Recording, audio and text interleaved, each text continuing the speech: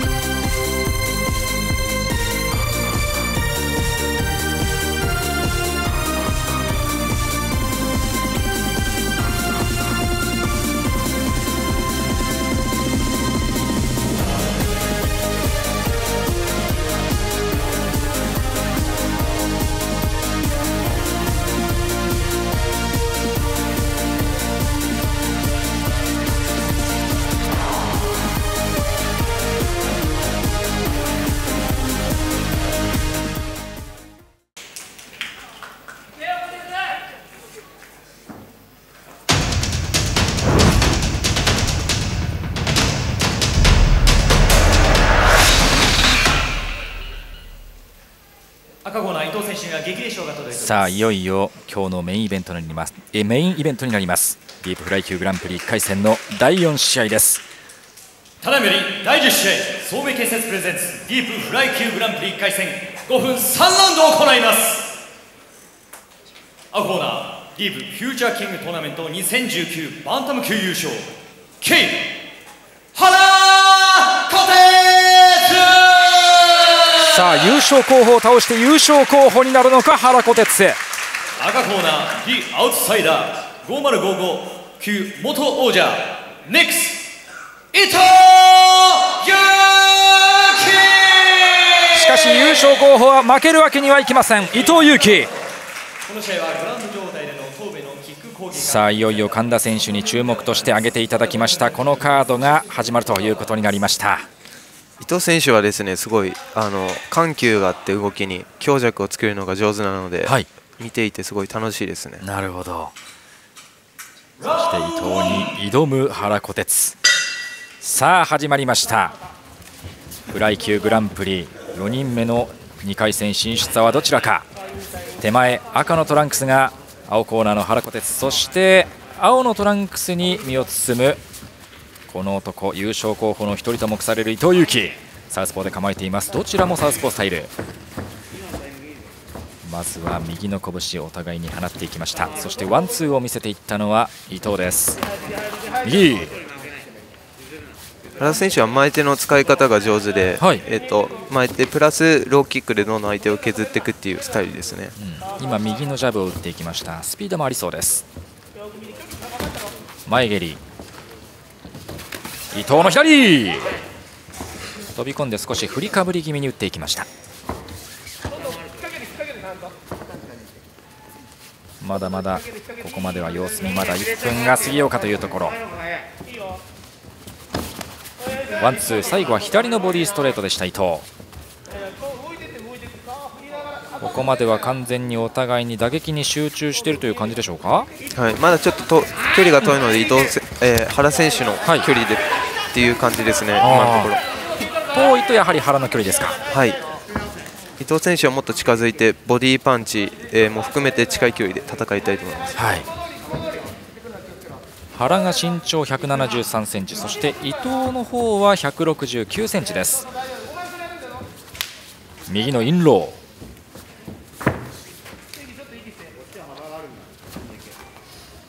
ー、うん、まだまだ攻め込むには早い時間帯か。お互いの様子をじっくりじっくりと見ています。センターからプレッシャーをかけているのは伊藤。このグランプリの優勝候補と目される選手左右のフック。素早くダッキングでかわしました。伊藤です。いや原の打撃パンチはスピードがありますね。はい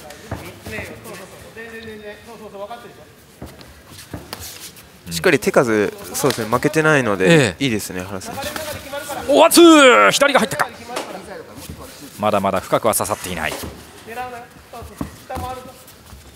相手をまだよく見ているという今度は伊藤がじりじりと前に出ました。右のジャブです。はい伊藤選手プレッシャーかかってきてます。自分の距離になってきてます。はい。ちょっと近づいたということでしょうか。はい。右素早いショートフックです。原伊藤の左のロー。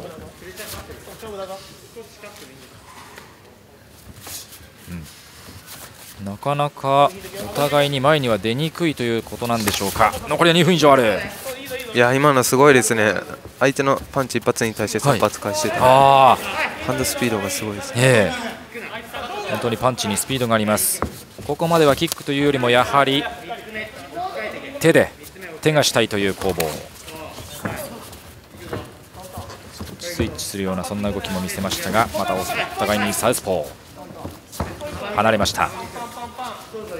ガードを固めてまた前に出ようというのは伊藤です。少し前に出た。お互いにケージの中央。うんなかなかお互いに飛び込んでいきませんね。はい。左のローキックうんインロー。そしてボディへのフックでした。伊藤最後は膝蹴り。左組んでいった。さあ倒しきるのか。お尻をつけることには成功しました。ただ伊藤選手ここからのリカバリカバリーが早いあ相当早いですね、え尻え餅ついてからのリカバリーが早いですし、ここからですねスタンドバックから解除までもしっかり練習していると思います。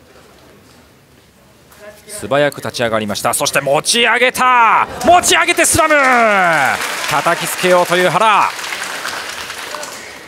ややケージからは離れました。一方で原の右腕に絡みついていこうという伊藤。残りは40秒切りました。腕はどうか。さあこの体勢から右腕しっかりと捉えているのは伊藤です。残りは20秒。右の腕が体から離されてしまうと、はい。原選手、えースイープされてしまう可能性あるので、一回自分の内ももを自分の手で掴んだ方がいいです。はい。それかそうですね、右手でクロクロールして枕を取ってしまうかどちらかです。ええ。そしてサイドに回った原そして第1ラウンド終了のゴングです。打撃戦から一転最後は寝技の攻防になりました神田選手第1ラウンドの印象はいかがですか？はい、あの原選手、最後あの自分の印象が良くなるように、はい。しっかりテイクダウンいっていたので、このテイクダウンっていう印象があるので、次、打撃もまた当たりやすくなると思いますね。こちらが優勝候補の一人伊藤裕樹25歳。そしてこちら同じく25歳。まあもともとトーナメントの表に抽選で入っていたのが伊藤有希その伊藤を選んだのがこの原でした。まあそうですね。あの、ええ。普段のマッチメイクだとちょっと実現しづらい2人なのであーええあえて多分グランプリということでチャンスということで選んだんだと思います。なるほど。まあ、原からするともちろんこれで大物食いとなれば、はい。名前を売るチャンスですもんね。そうですね。一気に出世できるので、はい、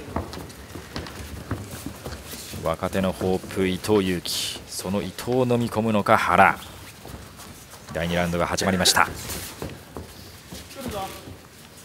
右のジャブはおおハイキック。コンビネーション見せました。原です。お互いにハンドスピードは十分。ただこの原選手のジャブに対して、そうですね伊藤選手が左のストレートを合わせ始めているのでパンチだとやはり伊藤選手の方が分があります。そうですか。ちょっと見切られて始めてますね。あの原選手のジャブが、ちょっと伊藤の方も慣れてきましたか？はい。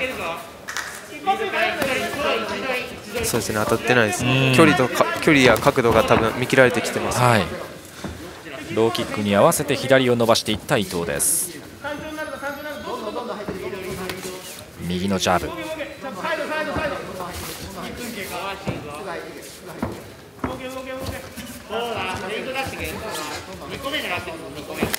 おお強烈なローキック。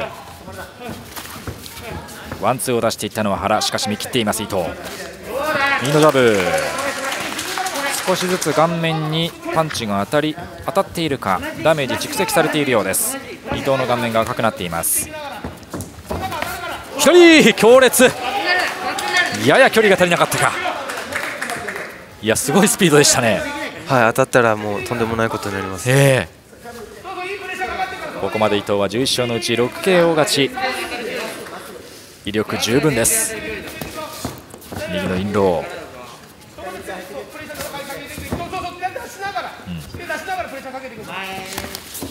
さあそして距離が近くなりましたがやはり伊藤の方は自ら組みに行かないというそんな感じでしょうか。やや距離を潰されるのを嫌がりました。おおパンチと同時に今左のミドルキック。ローキックは原です。原の方はここまで2勝2敗。どちらもフィニッシュでの決着というのはありません。左。大きな振りです。ローキックいいですね。そうですね。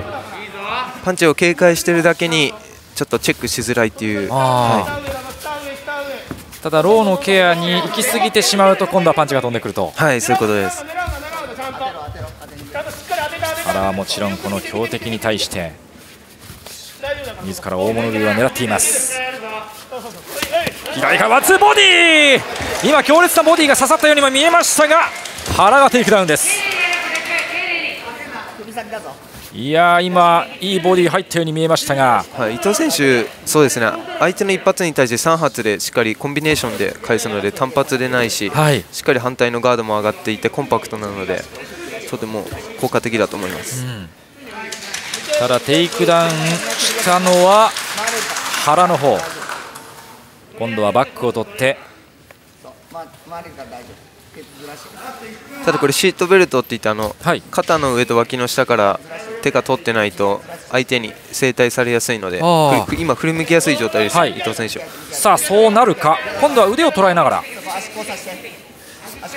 相手の方に向き直ろうかという伊藤あと右の肩が、はい、右の肩が抜ければはい、はい。あーなりそうなりました。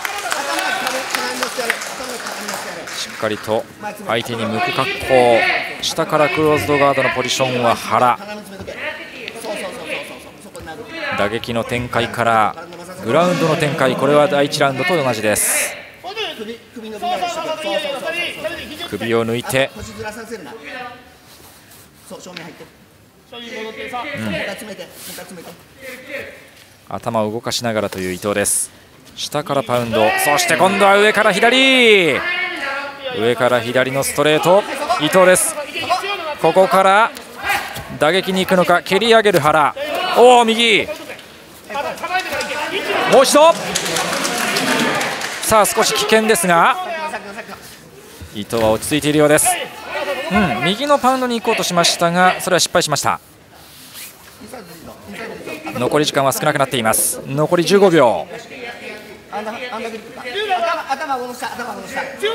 またしても下からのディフェンスということになりましたが残り10秒切りました最後はどうかうん切り上げると踏みつけに行ったところ第2ラウンド終了ですさあ第2ラウンドも終了ゴングが鳴りましたが印象はいかがでしょうか神田選手伊藤選手のペースかなっていうふうには思いましたね。あやはりどうですか？というのはどのあたりにそう感じられましたか？やはり打撃の手数で伊藤選手が上回っているので、はい、あの原選手もテイクダウン行くんですけど、はい。なかなかこう決めのポジションとかダメージにはつながっていないなっていう印象でした。ああそうですかこれが DEEP フライ級のグランプリ1回戦第4試合です。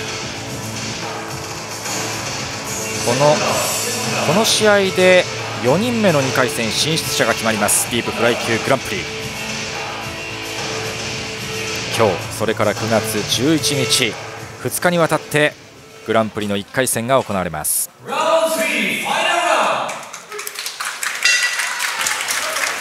ディープ100なインパクト。今日のメインイベントです。伊藤有希 VS 原小鉄。ディープフライ級グランプリの1回戦第4試合。青のトランクスが伊藤有希優勝候補。そして赤のトランクスその大物食いを狙います。原小鉄。右のジャブを出していきました。原。そしてインローを蹴っていた伊藤。もう左。ただ相手の顔面を捉えるには至っていません。まあ、先ほど伊藤の手数の方が多いというふうに神田選手おっしゃっていましたけれどもダメージというところはどうでしょう？うんダメージでも伊藤選手勝ってると思います。あそうですか。今やはりあの、はい。パンチが的確なので、しっかり狙ったところに当たってるなっていう印象ですね。鼻のあたりは赤くなっている原です。右少しフック気味原選手は左のパンチまでつなげたいですね。あコンビネーション。あー右効いたふらついた伊藤。さあこのチャンスを原は逃す手はありません。ただ首を抱えているのは伊藤だ。さあスクランブルから。どうなる？まだ首は抱えている。そうですね。上取れるかどうかすごい大事になってきます。どちらが上になるか。打撃を効かせた原。腕を決めに行く伊藤です。いやー原のパンチが完全に当たりましたね。右のフックですね。ぐらりときた伊藤。さあこれはチャンス到来残りは3分以上あります。相手のバックを取り掛かっている原。一方で伊藤の方は先ほどのパンチのダメージはどうか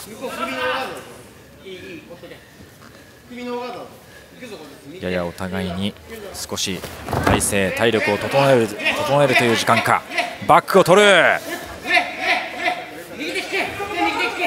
腹を背負いました伊藤、うん、この体勢はどうですか？もう完全に原選手がコントロールしている状態ですね、うん。右手で殴れますのに今、左手で相手の手首を脇の下から取って、はい。えー使えないようにしてますね。今度はマウントになるか。右の肘原がしっかりと上のポジションを継続。ここでスタンド。残りはまだ半分ある。さあダメージはどうか。ただ伊藤もこのまま終わるわけはありません。第1ラウンド第2ラウンドを鑑みるとまだまだ伊藤の方はあまり出なくてはいけないでしょうか。お左。原選手が多分今、負けてる状態なので、1、2ラウンド取られていると考えてもおかしくないです。ええ。あーっとボディただバックを取った原。そうなるとやはり原は攻め続けなければいけませんね。そうです。あの KO1 本狙いに行かないと、はい。そうですね。3ラウンドだけ取っても結局負けてしまうので、ラウンドマストなので、はい。トータルマストではないので、そうなると先ほどの右フックのダメージがあるうちに原も仕留めていきたい。はい、少し時間が経ちました。残りは1分30秒。ちょっと口が開いているのは伊藤の方です。さあ残り時間は少なくなってくる。どちらが決めに行くのか。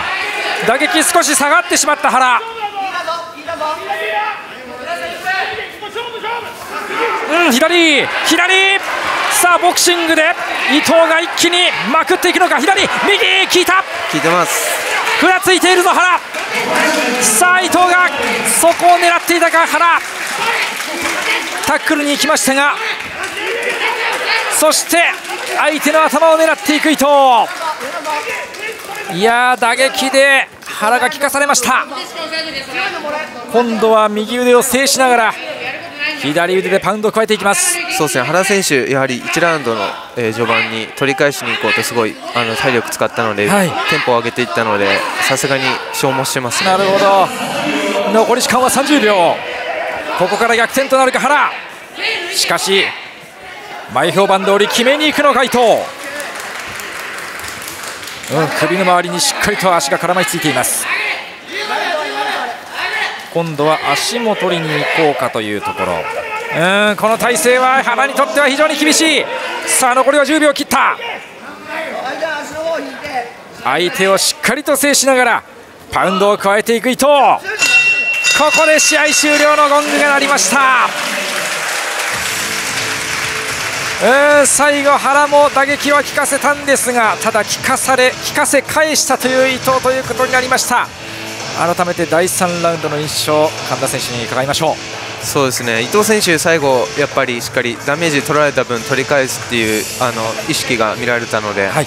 現にちゃんとダメージも取ってたと思いますし、すごいいい試合でしたね、お互い、ね。諦めずに。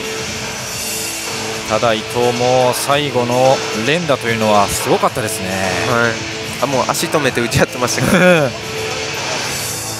いやー見どころの詰まった試合でした、ただ、まだ勝者のコールは勝者をコールを聞くには時間があります、まだまだ分かりません。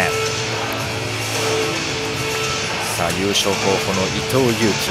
その伊藤を初戦の相手に選んだのは画面の左側原小鉄。これから判定に入ります。ジャッジ田沢29対28赤伊藤ジャッジ上松29対28青原。ジャッジ橋本。29対28赤伊藤ジャッジ柴田。30対27赤伊藤ジャッジ内田。30対27、赤伊藤よってこの試合。4対1をもちまして勝者。赤コーナー。伊藤有希。4対1の判定で勝ったのは伊藤有希ということになりました。いや1票腹に入りましたねそうですね、まあ、あの5人ジャッジいるので、まあ、1人が入ったりすることもありますね。ええ。はい。ただ内容的にはしっかりとこの伊藤が見せつけたという感じでしょうか？はい、しっかり底力を見せたと思います。はい。ただ敗れた原も自分の力を見せてくれました。打撃でしっかりとその優勝候補あと一歩というところまで追い詰めました